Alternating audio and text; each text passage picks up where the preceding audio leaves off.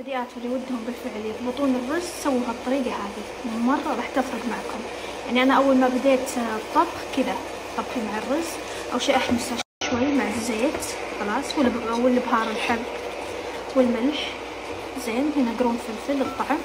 يعني حتى أذكر أول ما تعلمت الكبسة كنت أشيل الدجاج وأصفيه وأروح أحمس آه، الرز مع زيت وبعدين أصب المرق. لين بعد ما شاء الله بدينا نتقنها. وإن شاء الله يا رب عقبال الكل الحين أصب عليه الموية الحارة. الحين صبيت الموية الحارة لازم تكون بنات ساخنة تغلي. شايفين؟ يعني يدوب شيء آه، قد انملة الإصبع يعني كذا. عرفتوا؟ شايفين؟ مستوى الموية مع الرز. أو إذا شفتوه كذا بدأ الرز آه، آه، إيش أقول لكم؟ كذا مع الفقاقيع يطلع فوق.